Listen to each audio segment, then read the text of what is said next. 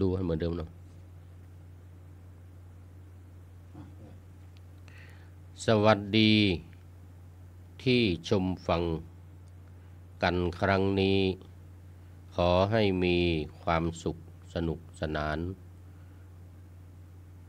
เพลิดเพลินในพระธรรมใจสำราญ จนรายการนี้จบครบชั่วโมง เป็นรายการธรรมะในไตรปิฎกดังจะยกมาเคียงเปล่งเสียงส่ง เป็นการช่วยอำนวยธรรมให้จันโลง ช่วยยึดโยงพุทธศาสตร์ของชาติไทย ให้อยู่ยงคงกระพันเป็นมั่นเหมาะ ให้ไพเราะกระจ่างสว่างสวัย ให้ธรรมะประจักษ์เป็นหลักใจอำนวยสุขโชคชัยไปชั่วการ ขอถวายความนอบน้อมแด่องค์สมเด็จพระสัมมาสัมพุทธเจ้า ขอถวายความเคารพพระมหาเทระ พระเทรานุเทระเจ้าคณะพระสังฆาธิการทั่วโลก อันมีพระเดชพระคุณพระธรรมเสนาบดี รองเจ้าคณะภาคเจ็ดวัดพระธาตุดอยสุเทพเป็นต้น และขออำนวยพรท่านผู้ฟังท่านผู้ชม สาธุชน พุทธบริษัททั้งหลาย วันนี้รายการพระไตรปิฎกลอยฟ้า ออกอากาศทางสถานีวิทยุ พระพุทธศาสนาแห่งชาติและจริยธรรม วัดพระธาตุดอยสุเทพ ระบบ FM หนึ่งเก้าสิบหกเมกะเฮิรตซ์นะเวลาสี่ทุ่มถึงห้าทุ่มโดยประมาณ เป็นประจำทุกวัน และสถานีวิทยุ เพื่อการศึกษาพระพุทธศาสนา และสังคม วัดฝายหิน ตำบลสุเทพอำเภอเมืองเชียงใหม่ ประจำวันจันทร์และวันเสาร์เวลา 10 นาฬิกาถึง 11 นาฬิกามาเหมือนกัน แต่ต่างแต่ว่าเป็นตอนเช้ากับตอนกลางคืนกลางวันกับกลางคืน ที่วัดพระธาตุดอยสุเทพเป็นกลางคืน ส่วนที่วัดฝายหินเป็นกลางวัน แต่ว่าแค่สองวันในหนึ่งสัปดาห์ บางทีท่านผู้ฟังก็อาจจะลืมไป เพราะว่ามันไม่ติดต่อกัน แต่ถ้าฟังทางสถานีวิทยุวัดพระธาตุดอยสุเทพ ก็จะไม่มีหยุดเลยทุกวัน ท่านผู้ฟังก็จำกันดีนะอืมก่อนจะเข้าสู่เนื้อหาสาระวันนี้ก็ต้องขออนุโมทนาขอบคุณกับท่านเจ้าภาพกระถิน อีกท่านหนึ่ง คือท่านอาจารย์เทวันท่านอาจารย์เทวัน หรือท่านพระครูใบดีกาพระครูใบดีกาเทวัน วัดเอี่ยมวรนุษกรุงเทพมหานครร่วมบริจาคในการทอดกระถินอีกหนึ่งหมื่นบาท ต้องขออนุโมทนาเป็นอย่างยิ่ง โดยคณะก็จะนำองค์กระถิน ไปทอดที่วัดพระธาตุดอยสุเทพไอแลนด์ ซึ่งตั้งอยู่ที่ตำบล Mitchelstown อำเภอ Upper Cork จังหวัด Cork City ประเทศสาธารณรัฐไอร์แลนด์ ซึ่งตอนนี้เป็นวัดพุทธมหาธาตุ โดยท่านเจ้าวาดก็คือท่านอาจารย์พระมหารำไพทิตะธรรมโม เป็นผู้ ก่อตั้งเป็นผู้สร้างวัดพุทธมหาธาตุแต่ตอนนี้ได้มอบถวายให้กับพระเดชพระคุณหลวงพ่อพระธรรมเสนาบดีในนามของวัดพระธาตุดอยสุเทพ เป็นผู้อุปถัมภ์และทนุบำรุงในการก่อสร้างท้าวรวัตถุต่างๆ มีเจดีย์วิหาร ศาลาอะไร เป็นถาวรวัตถุภายในวัดสืบต่อไป อันดับแรกก็จะได้เป็นการทอดกระถิน เพื่อสมทบทุนในการสร้างวิหารคดรอบเจดีเหมือนกับวิหารคดบนพระธาตุดอยสุเทพ รอบเจดี คือสุวรรณเจดี หรือพระบรมธาตุดอยสุเทพ ที่จะนำไปประดิษฐานไว้นะที่วัดพุทธมหาธาตุนะซึ่งจะได้เอ่อเปลี่ยนเป็นวัดพระธาตุดอยสุเทพไอแลนด์ในโอกาสต่อไปคณะจะเดินทางวันที่ 22 พฤศจิกายนคือเดือนหน้านี้นะ22 พฤศจิกายน แล้วก็ไป ทอดถวายในวันที่ 27 พฤศจิกายน ซึ่งเป็นวันสุดท้ายของเขตรับกระถินพอดีออผู้พูดเองนี่ก็จะไปออกพรรษาที่โน่นจำพรรษาที่วัดพระธาตุดอยสุเทพเชียงใหม่แล้วก็จะได้สัตตาหะไปในเจ็ดวันก่อนออกพรรษาไปออกพรรษานู่น วัดพระธาตุดอยสุเทพไอแลนด์อย่างนี้เนื่องจากว่าปีนี้กลับมาจำพรรษาที่เชียงใหม่ แล้วก็จะได้นำองค์พระองค์กถิน ไปทอดถวายร่วมกับกถิน คณะกถินของวัดพุทธมหาธาตุนี่ วัดพุทธมหาธาตุท่านอาจารย์พระมหารำไพแก่นกุลเนี่ยท่านก็ไปจากวัดมหาธาตุท่าพระจันทร์กรุงเทพเนี่ยคณะห้าเป็นสำนักปฏิบัติวิปัสสนากรรมฐาน ที่โน้นก็ทำเป็นที่ปฏิบัติวิปัสสนากรรมฐานเหมือนกัน ในการสร้างวิหารคตนะรอบๆเจดีย์ก็จะเป็นศาลา ที่พักเป็นห้องพักของผู้ปฏิบัติธรรม ผู้ปฏิบัติกรรมฐานไปในตัวก็มีวิหารด้วยมีศาลาด้วยมีพระบรมธาตุพระธาตุดอยสุเทพด้วยนะอยู่ด้วยกัน ในเนื้อที่ไม่มากเท่าไหร่นะความกว้าง 17 เมตรเอ่อแล้วก็ความยาว เป็นสี่เหลี่ยมผืนผ้านะเอ่อความยาว 48 เมตรอืมก็พอสมควรนะอันนี้ก็ขอขอบคุณและอนุโมทนากับท่านอาจารย์พระครูมดีกาเอ่อเทวัน วัดเอี่ยมวรนุชกรุงเทพมหานคร ในการที่ได้ร่วมบริจาคปัจจัยจำนวนหนึ่งหมื่นบาท ถวายเป็นร่วมกับองค์กฐินของพระเดชพระคุณหลวงพ่อพระธรรมเสนาบดี ที่จะนำไปอทอดถวายที่วัดพุทธมหาธาตุประเทศ สาธารณรัฐไอร์แลนด์นะแล้วก็ขอถือโอกาสนี้เชิญชวนญาติโยมผู้มีจิตศรัทธา ท่านที่จะร่วมบริจาคก็ติดต่อเข้ามาที่ วัดพระธาตุดอยสุเทพนะที่พระเดชพระคุณหลวงพ่อพระธรรมเสนาบดีได้ตลอดเวลา หรือวัดในสาขาของวัดพระธาตุดอยสุเทพ เช่นวัดโลกโมลี วัดเจ็ดลิน วัดยังกวง วัดปันเซาวัดเจดีปล่องอันนี้ในที่ในอำเภอเมืองนี่นะวัดอินทคีนอย่างเงี้ยนะเนี่ก็ติดต่อที่ท่านเจ้าอาวาสติดต่อที่ที่ต่อที่ท่านเจ้าอาวาสก็จะได้มา จะได้รวบรวมมารวมกันที่พระเดชพระคุณหลวงพ่อพระธรรมเสนาบดีเจ้าอาวาสวัดพระธาตุดอยสุเทพต่อไป หรือถ้าไปต่างอำเภอก็ทางแม่วางก็มีนะวัดสันขยอมวัดดอยสัพพันยูเออไปที่ท่านพระครูสุตตกิจจาพิรมหลวงพ่อเจ้าคณะตำบลดอนเปาเขตสองวัดวัดดอยสัพพันยู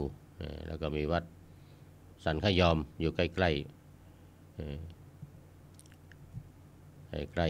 บ้านกาดนะหลังที่ทำหลังอำเภอหลังที่ว่าการที่ทำการอำเภอไม่วางถ้าไปทางแม่แตงก็นู่นวัดทับเดืออวัดราชครู คุ้มหลวง คุ้มหลวง ระนเรศวรเนี่ยนะเอออันนั้นก็ติดต่ออาเข้าไปได้ และโน่นอำเภอแม่อายที่วัดพระธาตุศพฝางวัดพระธาตุศพฝางที่อำเภอแม่อายอืมที่โน่นก็ได้นะหรือหรือที่ต่างๆนะก็ติดต่อเข้ามาได้ กำหนดเดินทางวันที่ 22 พฤศจิกายน และทอดถวายวันที่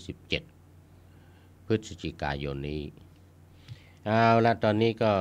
นะเข้ามาสู่เนื้อหาสาระของอธรรมะ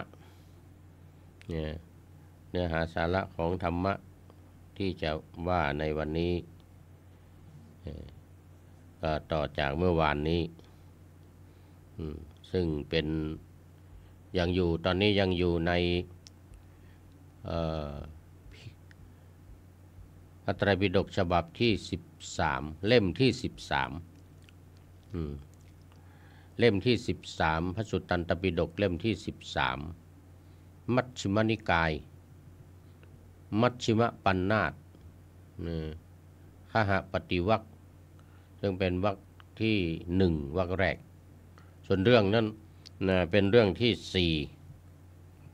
ชีวกัสูตร โอ้ที่ห้าขออภัยชีวกาสูตรได้เล่มสูตรที่สี่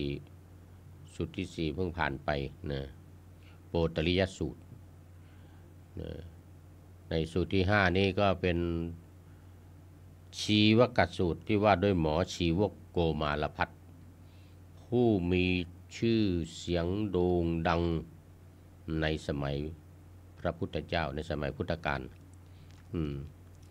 หลายคนในเมืองไทยทั่วโลกรู้จักนะทั่วโลกเป็นที่รู้จักกันว่าหมอชีวกโกมารพัฒน์ถวายโรงพยาบาลในเมืองราชคฤห์เนี่ยใกล้เขาคิชกูดในเมืองราชคฤห์ใกล้เขาคิชกูดเนี่ยถวายแด่พระพุทธเจ้า ตอนแรกก็ ถวายเป็นที่รักษาพยาบาลพระภิกษุสงฆ์เริ่มตั้งแต่พระพุทธเจ้าที่ถูกสะเก็ดระเบิดโอ้โอไม่ใช่สะเก็ดระเบิดสะเก็ดหิน ขออภัยนี่ตอนนี้หัวเราะดังยังไม่ได้ พูดพูดดังก็ไม่ได้ต้องขออภัยเสียงเบาๆ แล้วก็ดูเหมือนจะ เหมือนคนจมูกบี้หน่อยนะต้องขออภัยเพราะว่าเเป็นหวัดยังไม่หายดี วันนี้ก็ไปขอยาหมอมาโรงพยาบาลมหาราชได้มาทั้งสามอย่างหนึ่งยาแก้ไอ แก้หวัด แก้ไอขับเสมหะอะไรก็หลายหลายอย่าง อืมนี่ถ้าพูดดังเนี่ย หัวเราะดังไม่ได้จะไอ นี่ยอืมแล้วเวลาไอนี่จะไอติดต่อกันคุ้งคุ้งคุ้งคุ้งคุ้งคุ้งไม่ได้งานละเนี่ยเป็นน้ำหูน้ำตาไหลอืมจนหวัดคัดจมูกอืมก็ท่านผู้ชมท่านผู้ฟังก็ฟังเสียงเหมือนคนจมูกบี้ไปก่อน เออเสียงเหมือนแต่มัน แต่แต่ตัวจริงไม่ไม่ได้จมูกบี้นะอย่าคิดว่าเป็นคนจมูกบี้เออก็อีกสักสิบวันสิบห้าวัน หรือไม่เกินไม่เกินหนึ่งเดือนเนี่ยก็คงจะหายดีนะตอนนี้ก็ผ่านมาแล้วหนึ่งเดือนล้วอืมเดือนกว่าแล้วอ่าเป็นประจำทุกปีปีละครั้ง ครั้งละประมาณเดือนสองเดือนเนี่ยเป็นเป็นหวัดอยู่อย่างเงี้ย ตอนเปลี่ยนฤดู ตอนนี้ก็เปลี่ยนจากฤดูร้อนนะเข้าสู่โอ้ใช่ ฤดูฝนจะเข้าสู่ฤดูหนาวนี่ตอนนี้ก็อยู่ในระหว่างฤดูฝน จะเข้าสู่ฤดูหนาว แต่ความจริงที่เริ่มเริ่มมาจากความหนาวกับความร้อนนะเนื่องจากว่าอยู่ในที่หนาวแล้วก็พอขึ้นเครื่องบินมาเนี่ยพอขึ้นปุ๊บบนเครื่องก็ ปรับอากาศเลยทีนี้ เป็นอากาศร้อนอุ่นอุ่นก็จะร้อนเลยอุ่นก็จะร้อนเลย เป็นเป็นไอเลยเป็นหวัดเลยลงเครื่องมาก็เอาเลย ไอตั้งแต่อยู่บนเครื่องบินไอตั้งแต่อยู่บนเครื่องบินนะก็นี่ก็เดือนกว่าจะสองเดือนเอาไม่เป็นไรนะเป็นธรรมดาเป็นธรรมชาติสังขารของเรามันก็เป็นอย่างนี้ ยิ่งเท่าแก่ชรามาแล้วนี่ก็ยิ่งจะควบคุมไม่ได้ ต้องเป็นไปตามสภาพ เขาเรียกว่าเป็นสภาวธรรม เป็นธรรมชาติของสังขารคนเราทุกคน ถ้ายังมีขันห้านี้อยู่นะมีรูปมีเวทนา มีสัญญา มีสังขาร มีวิญญาณนี้อยู่เนี่ยก็ต้องเป็นอย่างนี้ ต้องประสบกับสิ่งเหล่านี้เป็นประจำทุกปีอ่า ก็เข้ามาสู่เนื้อหากันเลยทีนี้นสูตรที่ห้าชีวกสูตรหมอชีวกโกมารพัฒว่าโดยหมอชีวกโกมารพัฒนี่ตอนเมื่อกี้ที่ว่าพระพุทธเจ้าถูกสะเก็ดหิน จากพระเทวทัตทุ่มลงมา ในระหว่างทางที่พระพุทธองค์เสด็จ เดินลงจากเขาคิดคิดคิชกูดจะลงมาวินทบาทในเมืองในเมืองราชคฤห์นี่แหละพระเทวทัตก็แอบขึ้นไปซุ่มอยู่ข้างบน ซุ่มอยู่บนภูเขา เออหลังจากนี้มีมีภูเขาเหมือนกันเนี่ย เออเออไม่มีเอออยู่บนอยู่วัดฝายหินนี่วัดฝายหินนี่ก็มีมาหลังพิงภูเขาเหมือนกันนะหลังพิงภูเขา ด้านหน้าก็เป็นแม่น้ำปิง โอ้นี่ชัยภูมิดีมากอ่า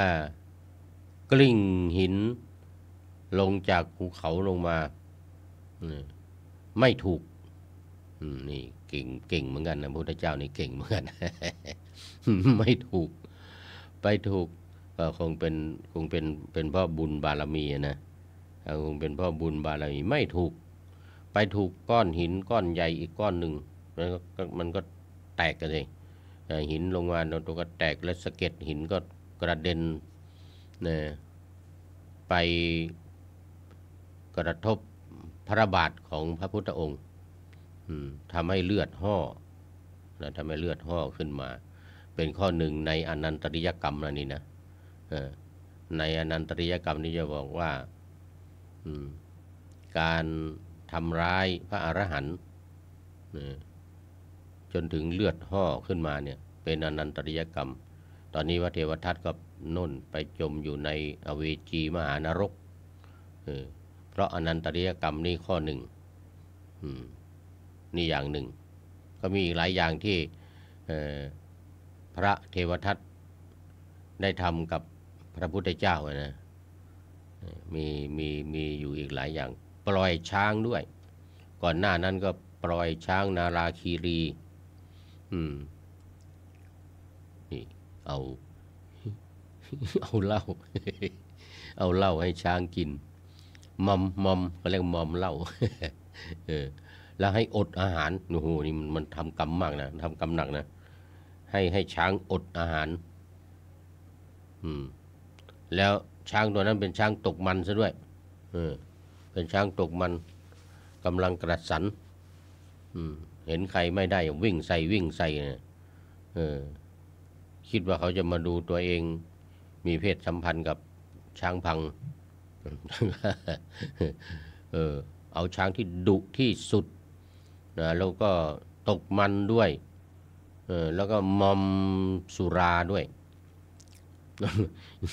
เอาเหล้าให้เออช้างกิน ให้มันเมาแต่พระพุทธเจ้าก็ทรงชนะชนะช้างนาราคีรีเนี่ยด้วยเมตตาชนะด้วยเมตตา มาถึงก็แผ่เมตตายาแผ่เมตตาใส่แผ่แผ่แผ่เมตตาแผ่เมตตาไปแผ่ไม่ได้รับแต่แผ่เมตตาช้างกำลังวิ่งมา นาราคีรีกำลังวิ่งมา หมอบลงเลยทีนี้หมอบลงแทบเท้าของแทบพระบาทของพระพุทธเจ้าเลย ยอมเลย ดูให้พระเมตตาอานุภาพ ของพระพุทธเจ้าอืมแต่อยู่ในอยู่ในสวดมนต์นะเอออยู่ในสวดมนต์ในบทมหากาเนี่ยอืมมหากรุณิโกเนี่ยนะเออไม่ใช่สวาพาหุงพาหุงเออมันมันติดมันติดปากพาพาหุงมหากาเออพาหุงมหาการอยู่อยู่ในพาหุงนะบทเนี่ยแต่ไม่รู้อยู่บทไหนนะอืม นาลาคีลิงคชาวลัง อติมันมัตตะภูตังเนี่ยนะอืม นี่ อันนี้อันนี้ช้างนาราคีรีที่ที่จะเข้ามาทำร้ายพระพุทธเจ้า ก็พระเทวทัตนี่แหละ ปล่อย เตรียมที่จะให้ช้างนาราคีรีเนี่ยทำร้ายพระพุทธเจ้า กะจะเอาตายนะเออ ไม่ไม่ไม่ใช่ไม่ไม่ใช่ทำร้ายธรรมดากะเอาตายนะนี่เรื่องของเรื่องมัน เออ พระเทวทัตนี่กะเอาตาย เอาพุทธรูปเอ้พุทธรูปพระพุทธเจ้า เอาตายเลยเนี่ยนี่เรื่องของเรื่องมันเนี่ยอืมทีนี้พอถูกสะเก็ดหินพระโลหิตห่อขึ้นมาเนี่ยนะ ช้ำขึ้นมาโลหิตขึ้นมา ก็ไปรักษาที่หมอชีวกที่โรงพยาบาลหมอชีวกไม่ไกลจากที่กลิ้งหินลงมาเนี่ยก็มาโรงพยาบาลหมอชีวกก็คงจะประมาณหนึ่งกิโลหนึ่งกิโลเมตรนะกว่ากว่าหนึ่งกิโลเมตรกว่ากว่าหรือไม่ถึงประมาณนี้แหละนะประมาณหนึ่งกิโลเมตร ก็เข้ารักษาที่โรงพยาบาลหมอชีวกนี่แหละเสร็จแล้วต่อมาหมอชีวกก็ยกถวายเลยทั้งโรงพยาบาลถวายให้เป็นที่ดูแลรักษาพระภิกษุสงฆ์เพราะสมัยนั้นมันก็มีไม่น้อยเนี่ยพระสงฆ์เป็นหมื่นๆอ่ออยู่ที่วัดเวลุวันนะที่ขึ้นไปจำพรรษาบนเขาคิชกูด กับพระพุทธเจ้าก็ไม่กี่องค์มีภาษาลีบุตรมีโมกคันลาพระอานนท์เพราะว่ามันแคบนิดเดียวบนบนบนเขาคิชกูดตามประวัตินะตามประวัติก็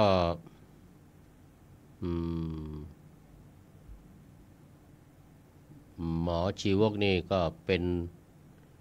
ลูกเลี้ยงนะ เป็นลูกเลี้ยงลูกเก็บของพระเจ้าพิมพิสาร เขาเรียกบุตรบุญธรรมเรียกบุตรบุญธรรม เพราะว่า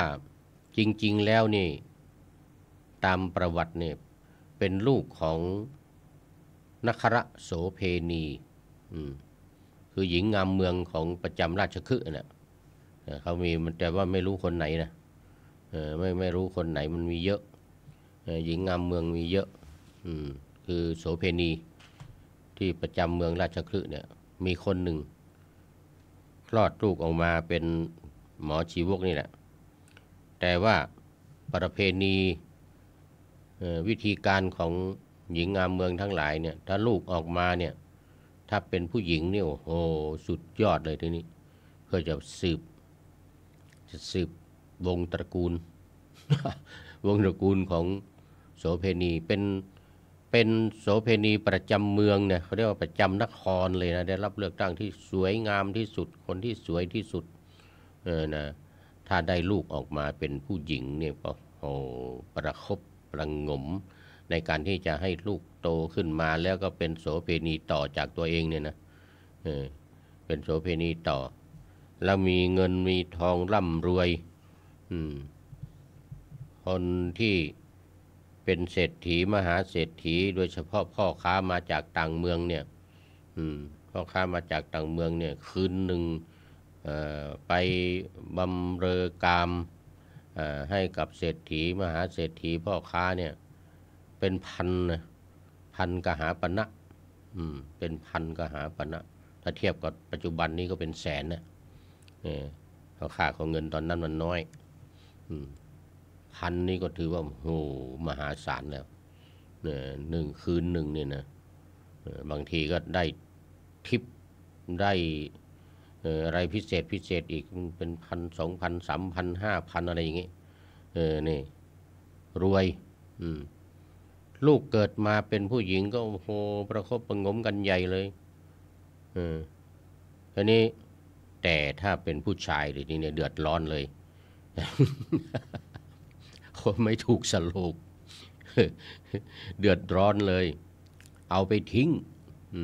หมด หมดไม่มีใครเลี้ยงมไม่มีใครเลี้ยงถ้าคลอดออกมาแล้วเป็นผู้ชายแล้ว เอ้ย ต้องถูกนำไปทิ้ง เหมือนกับหมอชีวกเนี่ยหมอหมอชีวกโกมารพัฒน์นี่นะอืมตอนเด็กตอนคลอดมาใหม่ ๆ เป็นเด็กผู้ชาย แม่คือเป็นโสเพณีเนี่ยก็เอาไปทิ้งเลย เอาไปลอยน้ำทิ้ง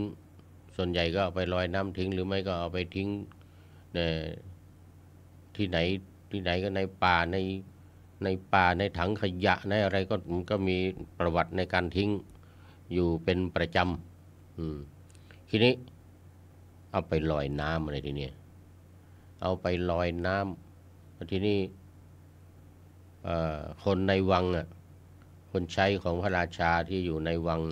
ก็ไปเห็นเข้านะก็เอามานี่มันเป็นเด็กผู้ชายน่ารัก มันเป็นบุญบารมีของชีวกะนี้ด้วยหมอชีวกนี้ด้วย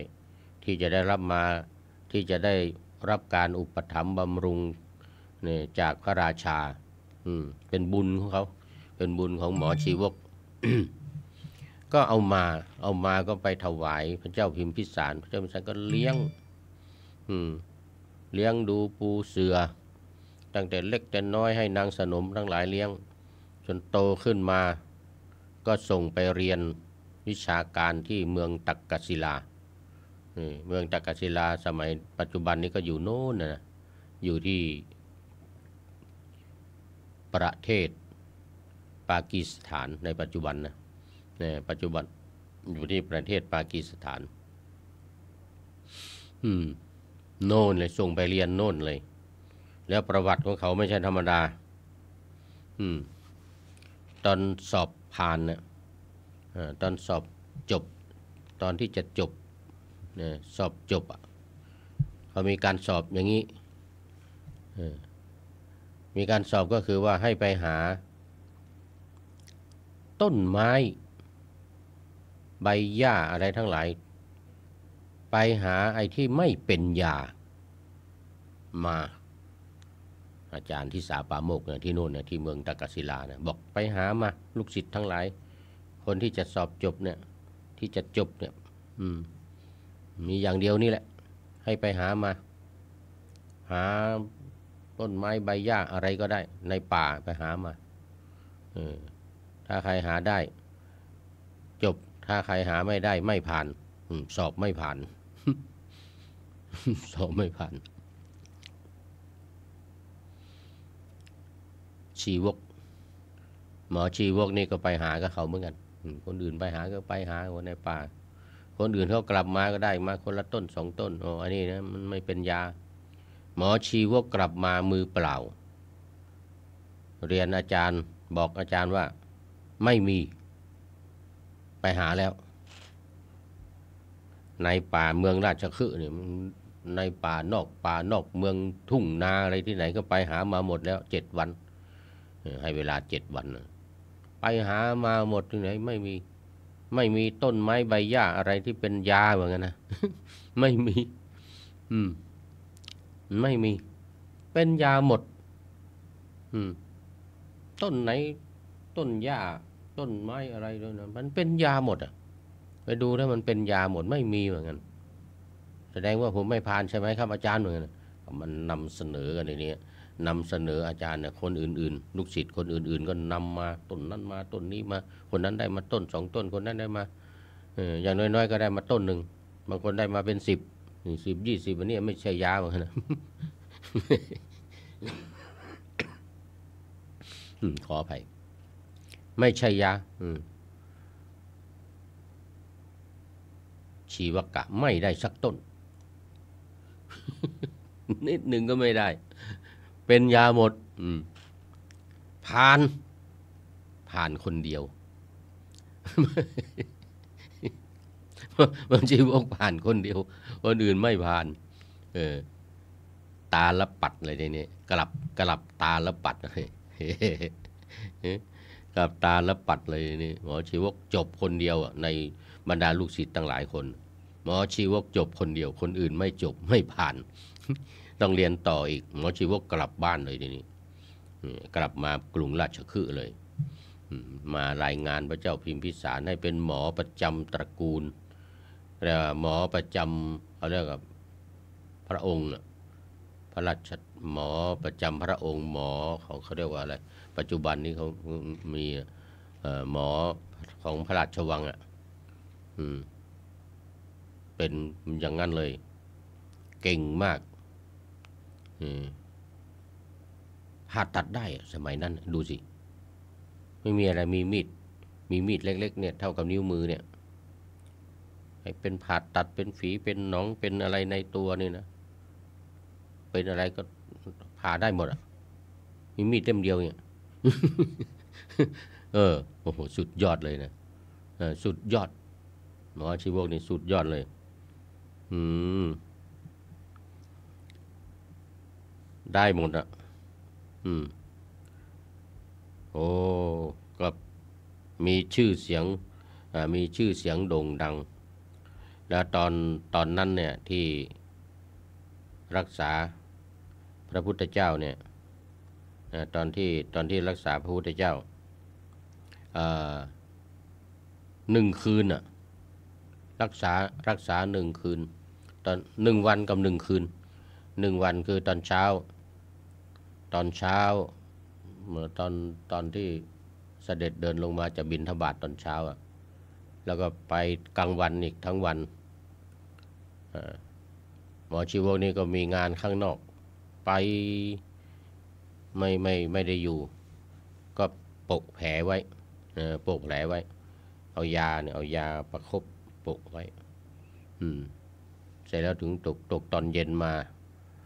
หมอชีวกก็ไม่อยู่น่นไปรักษาคนอยู่ข้างนอก นอกบ้านเอเอา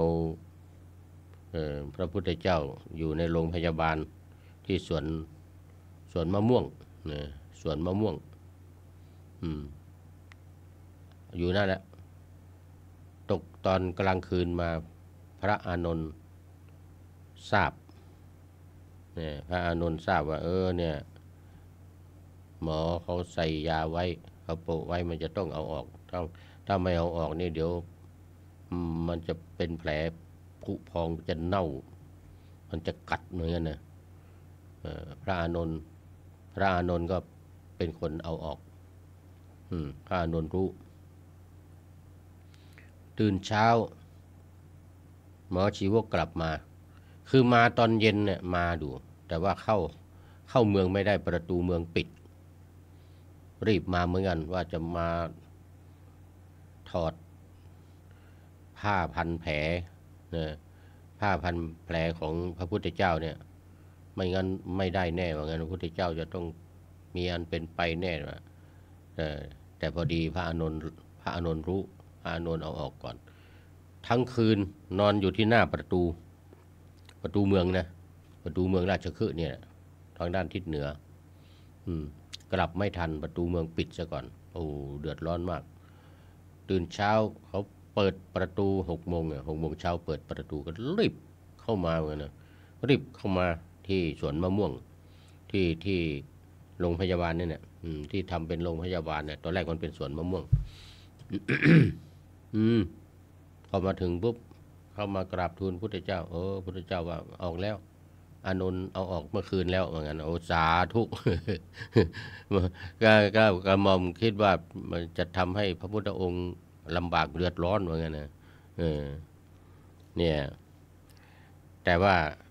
อ่าก็เล่าย่อๆเล็กๆน้อยๆอืม เดี๋ยวมันจะไม่จบเหมือนวันนี้จะไม่จบ เออ ท่านพระอานนท์ก็เล่าให้ที่ประชุมสงฆ์ในกาในคราวทำสังคยนาครั้งแรกนะที่ถ้ำสัตบัน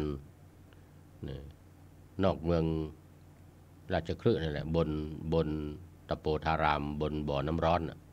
อ่าเนี่ยมีถ้ำสัตกบันถ้ำสัตบันอยู่นั่น ต้นบ้านเรานี่เรียกว่า ต้น ตีนเป็ดต้นตีนเป็ด สัตบันบันแปลว่าใบใบไม้เนี่ยนะมันมีใบเจ็ดใบ ต้นตีนเป็ด มันมีใบเจ็ดใบภาษาไทยเรียกลืมไปละ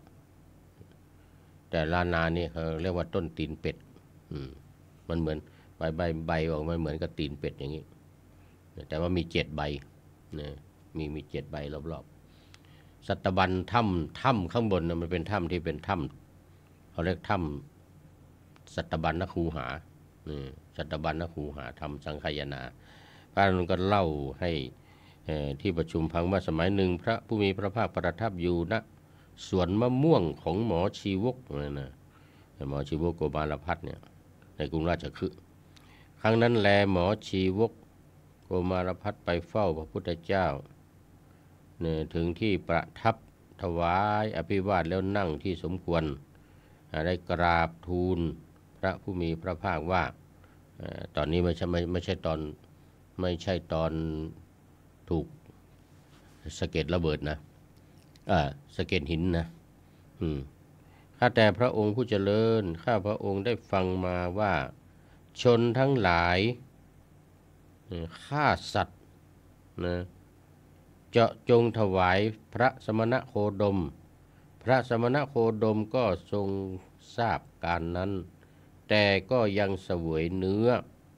ที่เขาฆ่าเจาะจงพระองค์ ที่เขาอาศัยพระองค์แล้วท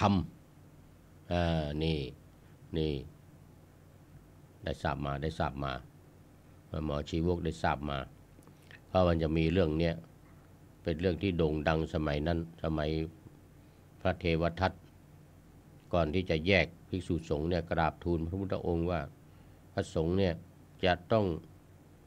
ถ้าอยู่ป่าก็อยู่ป่าเป็นวัดให้อยู่ป่าไม่ต้องเข้ามาบ้านเหมือนกันนะอยู่ถ้าจะฉันเนื้อไม่ฉันเนื้อเนี่ยต้องไม่ฉันเนื้อตลอดชีวิตอะไรเงี้ยนะเสนอพุทธองค์หลายอย่าง หลายอย่างหลายข้อ แต่พุทธองค์ไม่เห็นด้วยไม่ไม่ทรงอนุมัติไม่ได้ไม่ได้ทรงอนุมัติตามพระเทวทัตพระเทวทัตก็เลยแยกพระสงฆ์ที่เห็นด้วยกับแกเนี่ยออกไปอยู่อีกที่หนึ่งไปจำพรรษาอีกที่หนึ่งสังฆกรรมไม่เข้าไม่ร่วม สังฆกรรมเขาเรียกว่าสังฆเพศทำสงฆ์ให้แตกกันพระเทวทัตนี่นะในอนันตริยกรรมนี่มีหลายอย่างนะเทวทัตนี่นะอืม ข้าแต่พระองค์ผู้เจริญ ชนเหล่าใดกล่าวอย่างนี้ว่าชนทั้งหลายฆ่าสัตว์เจาะจงถวายพระสมณะโคดม พระสมณะโคดมทรงทราบ แต่ก็ยังฉันเนื้อที่เขาเจาะจงถวายนั้นเอ่เอ่อไม่ชื่อว่า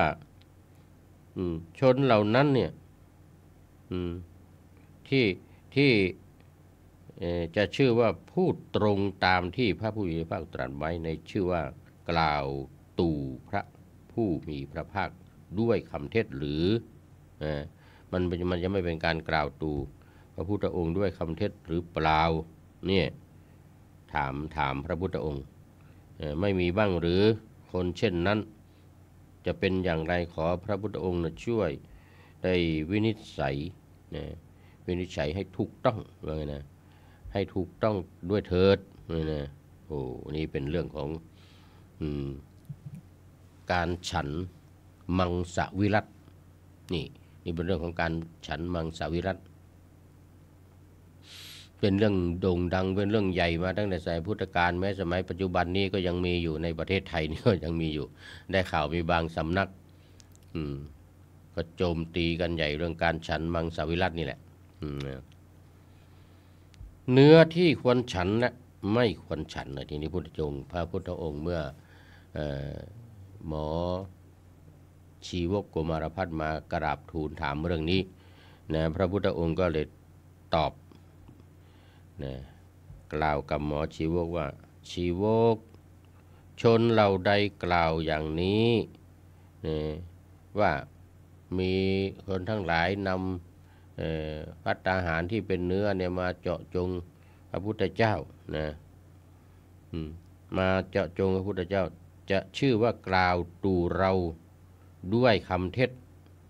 นะที่ไม่จริงอยู่หรือไม่เนี่ยตามที่เรากล่าวไว้นั้นหรือไม่นะเรากล่าวเนื้อที่ภิกษุไม่ควรฉันไว้ด้วยเหตุสามประการนะด้วยเหตุสามประการ ฟังดูว่ามันจะตรงหรือไม่ตรง มันจะเป็นการกล่าวตูพระพุทธพจน์ที่พระพุทธเจ้าได้ตรัสไว้หรือเปล่าหนึ่งเนื้อที่ตนเห็นสองเนื้อที่ตนได้ยินสามเนื้อที่ตนสงสัย นี่ ถ้าอย่างนี้เนี่ยผิดว่าไงนะพุทธจงพระพุทธองค์ตรัส ถ้าอย่างนี้ผิดเนื้อที่เห็นนี่คือยังไง เนื้อที่ตนเห็นเนี่ยมันถือว่าเห็นเขาฆ่า สมมติว่าพุทธเจ้าเนี่ยพุทธเจ้าเนี่ยเสด็จไปแล้วเห็นเขาฆ่าอยู่ตรงนั้นนะถามเขาว่าฆ่าตรงนั้นเขาฆ่าทำไมเขาจะทำไมเขาถวายพุทธเจ้า จะถวายฆ่าเสร็จแล้วจะมาเจาะจงพุทธเจ้าอย่างนี้ไม่ได้เนี่ยอย่างนี้ผิดเนี่ยอย่างนี้ถือว่าผิดสองเนื้อที่ตนได้ยิน สมมติว่าไม่เห็นไม่เห็นก็จริงแต่ว่าได้ยินเขา ได้ยินเขาฆ่าเสียงร้องจุดจุดจัดจัด จุดจิตจุดจิตหมูร้อง ได้ยินเสียง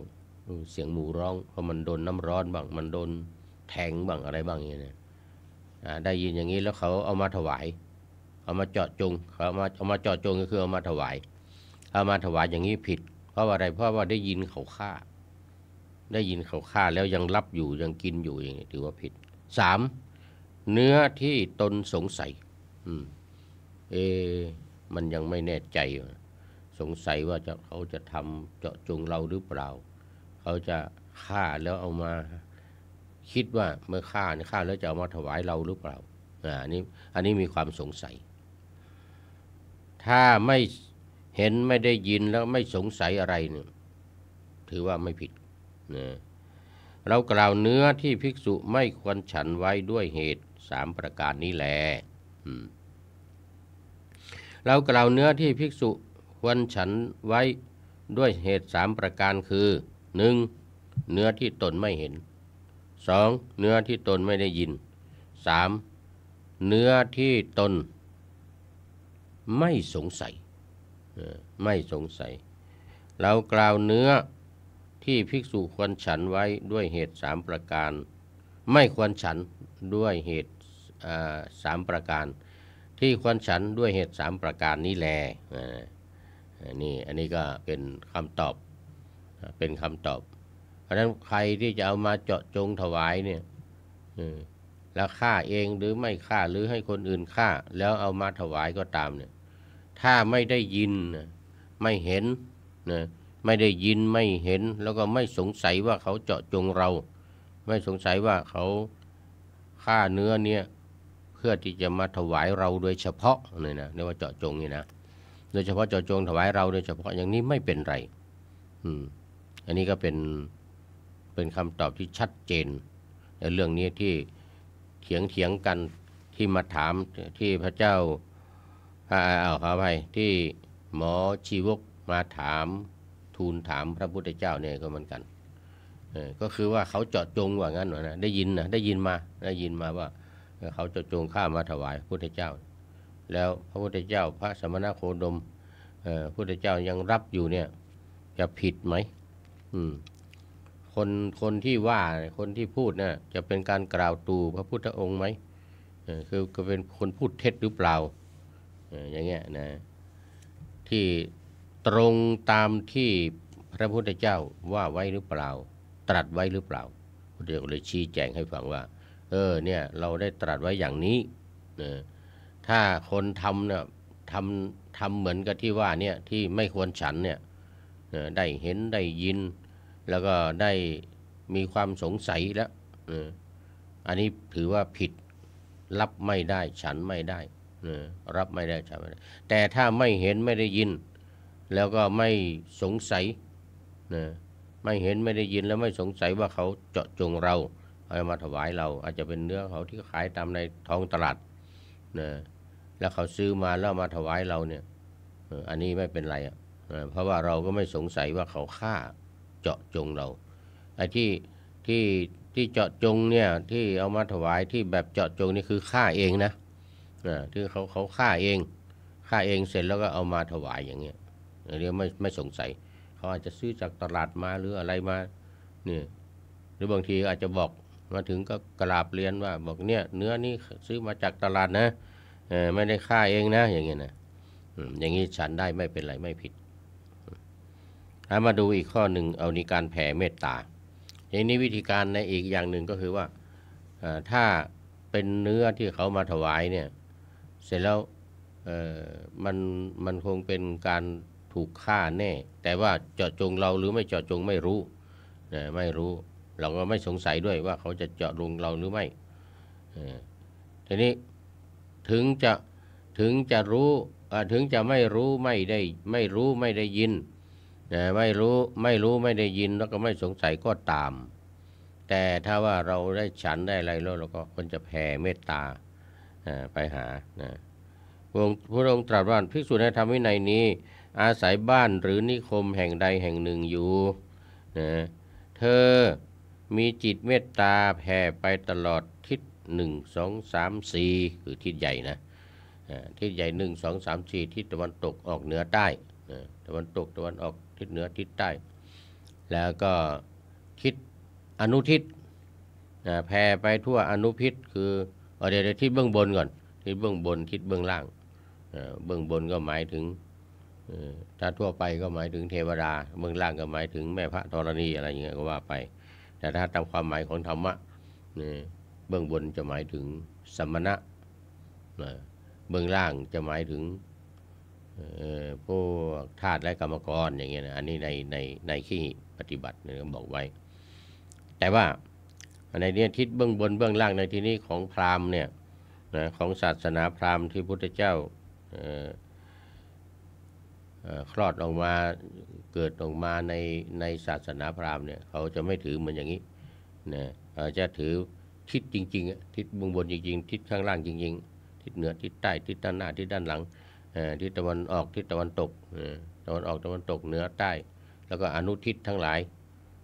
ทั้งทั้งสี่รวมทั้งทิศประจำอีก8เนี่ยต้องแผ่เมตตาไปแผ่เมตตาไปเรียกเรียกว่าเป็น โนทิสะพารณาคือการแผ่ไปโดยไม่เจาะจงนะแผ่ไม่เจาะจง ลงไปคนใดคนหนึ่งนี่เรียกว่าอโนทิสะพารณา หรือเจาะจงเป็นโอทิสะพารณา เจาะจงแผ่ลงไปในทุกๆทิศทั้งรอบนี้8ทิศข้างล่างข้างบนทั้งหมด10ทิศทั้งหมด10ทิศทั้งหมดเนี่ยแผ่ไปให้ทั่ว เผื่อว่าเนื้อที่